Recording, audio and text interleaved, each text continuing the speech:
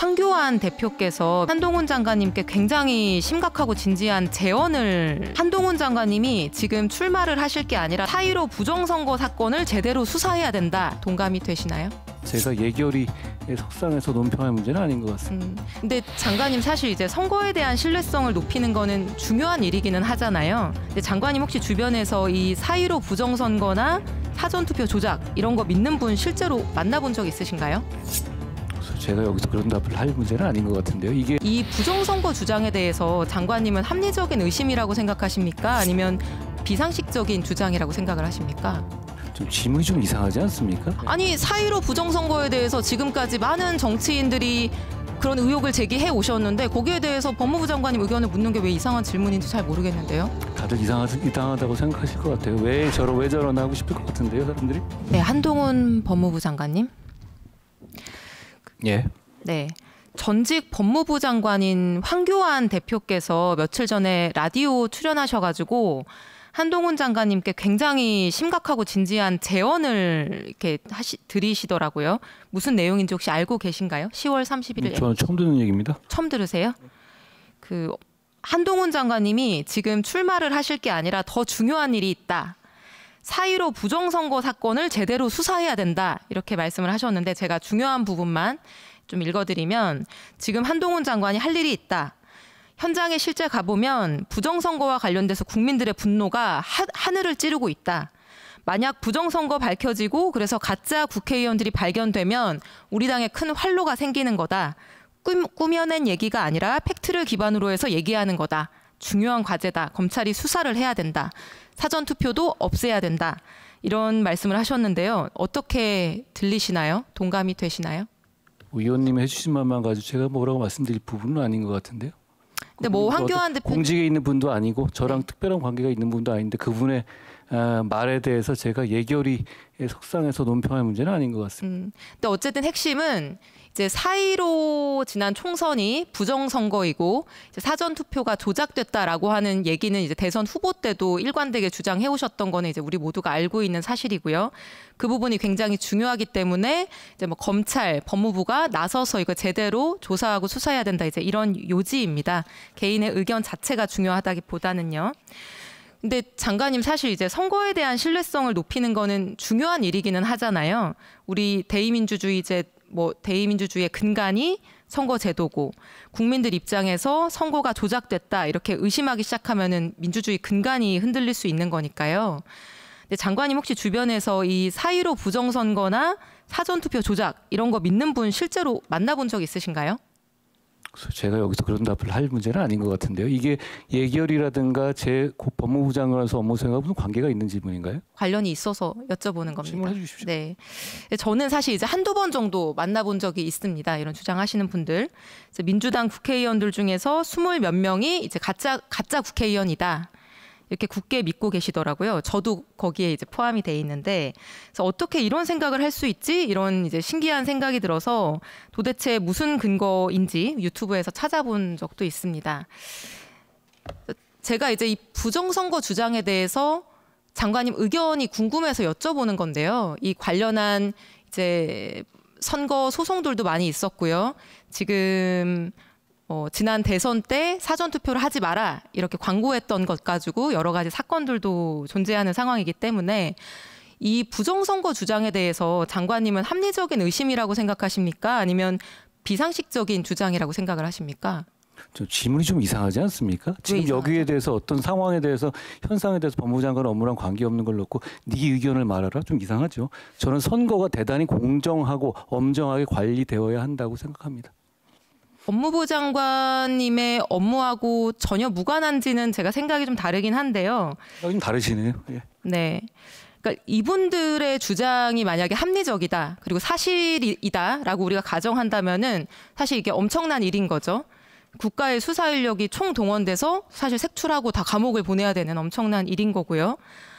근데 합리적인 일이 아니라고 하면 사실 이렇게 수년째 가짜 국회의원 있다, 북한이 조작한다 이런 얘기를 퍼뜨리는 분들이 공직선거법상의 뭐 선거 방해죄나 이런 것들에 해당될 수도 있기 때문에 단속하고 처벌하고 제재하고 그래서 이런 사회 분열을 해- 좀 조장하는 이런 일들을 일소해야 될 필요가 있을 수 있는 거죠. 실제로 선관위가 작년 대선 때 이분들이 사전 투표에 대해서 근거가 없는 이런 의혹들을 퍼뜨린 걸 가지고 이제 고발을 한 사건도 있었고요. 경찰이 불송치 결정한 거에 대해서 작년 8월에 선관위가 이의 신청을 했고 검찰로 송치되어 있습니다. 이 사건도 전혀 모르시나요? 어, 제가 그런 구체적인 사건은 모르겠는데요. 구체적인 사건 내용에 대해서 물으시는 거라면 제가 말할 수 있는 부분은 없죠. 아까 말씀드린 게 전부입니다.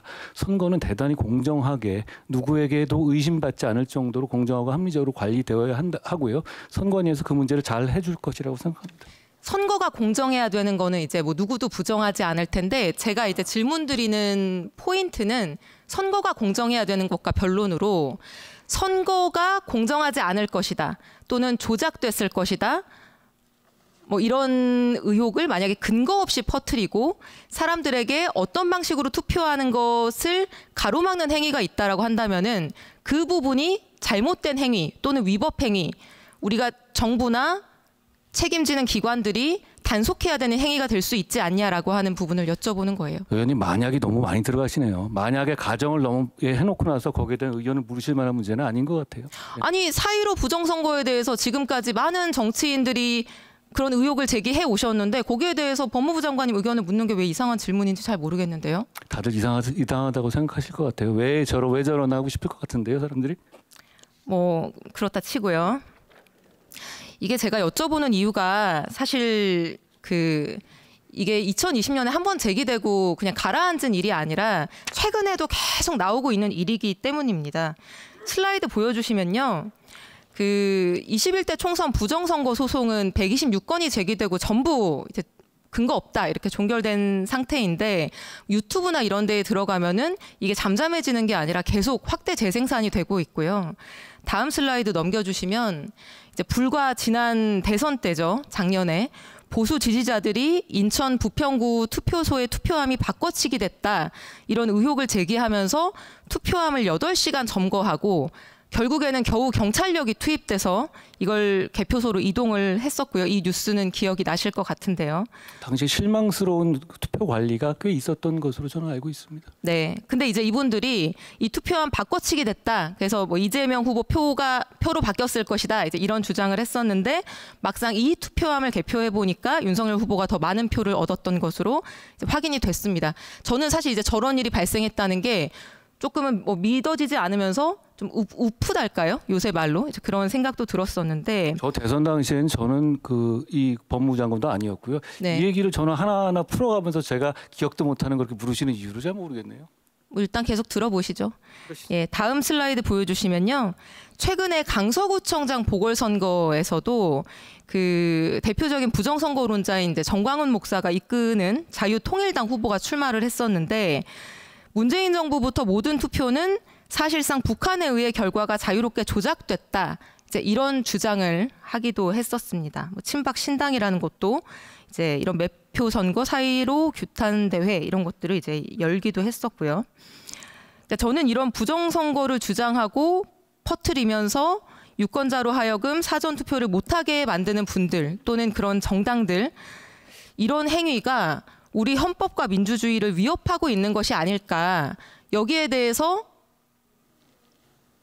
뭐 이런 분들은 뭐 이런 자유를 하는 것 이런 주장을 하는 것이 자유다 이렇게 방관할 것이 아니라 필요하다면은 지금 계류되어 있는 부분들에 대해서 수사를 하고 그리고 앞으로 총선이 몇 달 뭐 남지 않았는데요. 또 사전 투표하면 안 된다. 사전 투표 조작할 거다. 이런 신문 광고가 나오고 그런 연설들이 나올 것이라고 충분히 예상이 되는 상황인데 여기에 대해서 정부 입장을 좀 명확하게 하면 이런 문제가 재발되거나 혼란이 일어나지 아- 않지 않을까 이런 생각을 갖고 있거든요. 장관님은 공감이 안 되시나요? 음, 대한민국은 자유민주주의 사회고요. 여러 가지 생각을 가질 수 있습니다. 그리고 어떤 생각이 생각이 어떻게 범죄의 영역에 간다든가 그거를 사전적으로 제한할 문제인지 여부를 감- 판단하기 위해서는 굉장히 신중해야 하는 것이죠. 일반론적으로 그 정도 말씀드리겠습니다. 어쨌든 이 사전 투표 조작, 뭐 사이로 부정 선거 이것과 관련해서 지금 검찰에 계류되어 있는 사건들도 여러 건이 있는데 이제 법무부 장관으로서 그 부분에 대해서 뭐 특별히 관심을 가지거나 뭐 입장을 정리하거나 어떤 방향을 발표하거나 한 적은 없으신 걸로 제가 이해하고 넘어가도 되겠습니까? 위원님이 질문을 계속 하시, 하시는 뭘 원하시는지 는 알겠는데요. 저는 이 정도 답드리고 말겠습니다. 네, 알겠습니다. 그만하고요. 그 감사원장님, 음, 제가 몇 가지 질문을 드릴게요.